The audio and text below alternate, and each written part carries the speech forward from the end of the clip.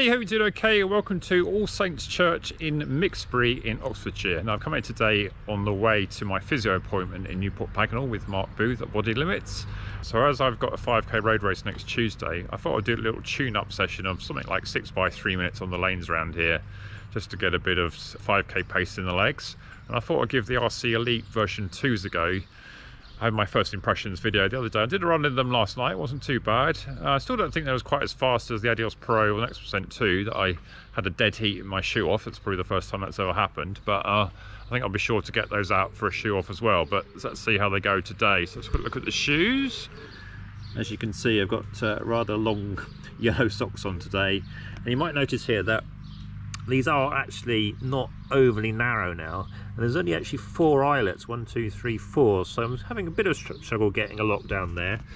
But they feel reasonably tight across there but yeah just feel like they could do with a few more eyelets compared to an adidas shoe that's got about six only having four rather does restrict your abilities to get them tighter. Anyway, let's see how we go. We've got plenty of room in the toe box, unlike Adidas ones. They actually do do a 13 and a half in these. Okay, so let's get out for a little warm up and we'll see how we go on the way. So Mixbury is right on the side of the HS2 route here, which I've just jogged about half a mile up from Mixbury village centre to here is an HS2 compound. So I presume that sort of bridge construction there may be a future bridge for the railway. I have to check where exactly the route's going. There's actually an old railway bridge up there. So it's going very much parallel to an old railway route here. So here's the old railway bridge. The railway used to go underneath here. And on this side here is basically a farm. You can actually get underneath there through the farm grounds and there's a path that goes alongside it. So I assume they're not actually coming through this bit actual bit of the old railway here because it would be right in the middle of that farm which will have to be also be demolished. Assuming because the HS2 compound's about 100 yards up that way that's more where the route's going to go. And actually going to bypass this bit. But you can kind of see from behind they've actually sort of fenced off a bit of a path that, goes next to the railway. So uh, when I'm feeling like more like a trail run I think I'll go and have a look at that one you can sort of see all those pylons in the way that we need to interact with the route as well. So I'll see if I can overlay a map of the route and where exactly we are. Right let's get some strides on this bridge I think.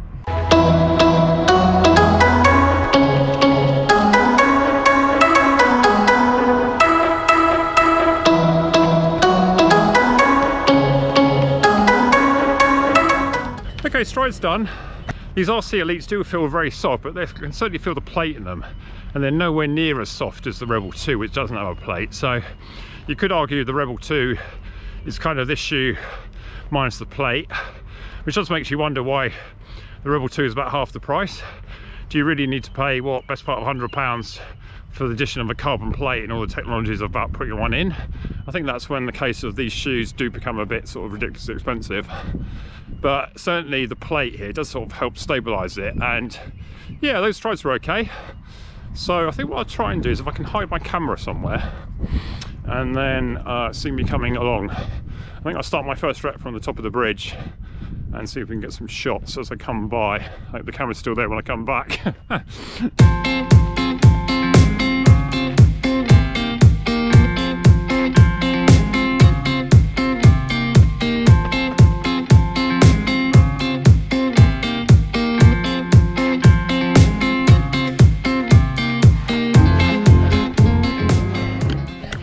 Ah, camera's still here at least.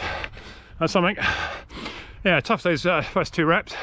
Just over six minute pace, I think. One was fairly flat, not too much wind today. Uh, yeah, I need to get used to this higher pace. Right, I'm gonna run back to Mixbury for next one, it's about half a mile. So I'll be starting that any second. I'll report back when I get there. Oh, that was a downhill one, just got under six minute pace. Feel like it was hard work. Shoes are okay, maybe just a bit too wide a platform and bit too soft for me for it to be ideal. But not bad. So forward now we've climbed out Mixbury to the main road. Just a little about one percent drag i'd say. To get a chance to run back. It's actually a half mile rep. So i've got 30 seconds to go. I'll turn around and follow that car i think. Oh forget how hard these are. That was i think just on the six minute pace. Was downhill though. But uh, we'll take it all right, one more to go. I think I'll go that way. Just run for three minutes and then stop. I think it starts to go uphill. which might be nice. okay, six and final one done. As I suspected it was with the hill at the end. Uh, I ran to the D-limit sign coming out of Mixbury just for future reference. A good segment going from the church. Well, I forgot how hard those 5k sessions are. Just been mainly doing steady miles the last month, a bit into threshold. Managed to do last three weeks at 50 miles plus, which is good. Just don't feel I've got any speed in legs, so I'm still noticing this quite a bit. I do like these country lanes for running. You get the odd car passing like that, but they're never going very fast. And it's not wide enough for two to pass, so they have to go slowly, even when they see me. Yeah, British midsummer time. Oh dear. Right, what time is it? Oh, I need to be heading back to the car. Right, so the shoes were okay. I need to do a more specific test. Yeah, they sort of foamed up a bit at that pace, although when you're doing that pace, you're really not really caring about anything. You're just wanting to see the end of the line. So did find them slightly wide on foot with only the four eyelets, just a wider base, I think, the next percent across the midfoot. So that doesn't really help. Having a very narrow and long foot, then the last thing I want to do is just sort of have more rubber on the ground, as it were. I think a wide foot two people, maybe the other way around. Certainly stable enough. Feel much more stable than the Rebel 2.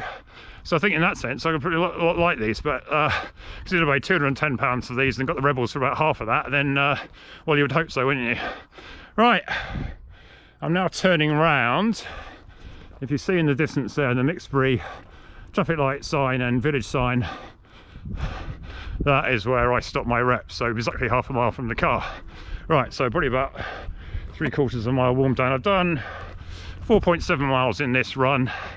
And uh, yeah my warm-up about five strides and then six by approximately half a mile three minutes four minutes whatever's sort of from one junction to another fortunately there's sort of three roads that fan out from here. They're all about half a mile so ideal.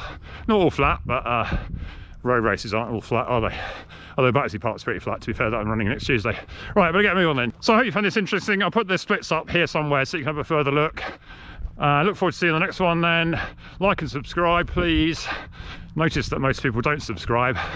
Maybe they just watch my videos and think they're rubbish. But I think that's pretty much common amongst everybody, isn't it? So if you could go your way to subscribe, that'd be good. I'm looking forward to getting towards 2,000 subscribers. I'm heading there, about another 150 to go, I think. So that'd be a good landmark. Because I've got to a 1,000 about last autumn, I think. So progress is uh, slow, but uh, getting there. So I hope you enjoy these videos again, once again. And see you next one then. Bye!